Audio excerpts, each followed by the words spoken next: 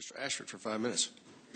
Thank you, Mr. Chairman. Secretary, I, I just as a, a quick aside, uh, when you were, I'm from Omaha, and uh, uh, when you were governor, I want to thank you for the vision that you had then in developing the riverfront uh, between Council Bluffs, Mayor Hanafan, and Omaha. We are now seeing a 50-year vision statement that started really with your administration, and it's a big deal for for Sarpy County and Douglas County and Pottawattamie County, uh, Iowa, to and thank you. I want to thank you publicly for starting that process. It's a big deal for for our state.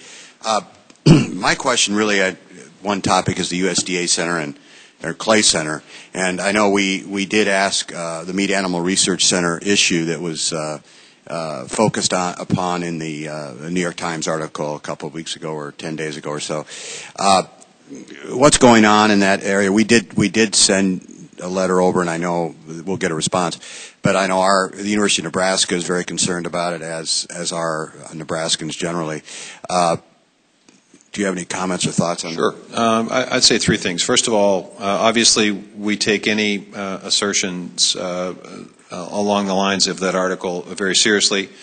I would point out that some of the uh, issues that were raised in the article are, are, no longer the practice and no longer the case and haven't been for uh, a number of years, but nevertheless, uh, out of respect for the concerns that have been raised, uh, I ordered a 60-day independent review outside of, uh, of our people uh, to take a look at processes and procedures that are taking place in terms of approvals of research projects and the oversight of research projects.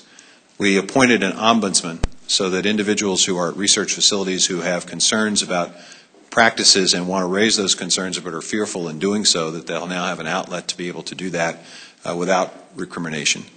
And third, after we get the report and whatever recommendations are made, we will certainly uh, take a look at those and implement them uh, as quickly and as effectively as possible. And then we will follow up with a, uh, a, a more general review of other facilities in the USDA network that are involved, maybe not as much as the center is in, in animal research. So we are taking a look at this. We're being thoughtful about it, and we're being, uh, I, I, think, proactive about it.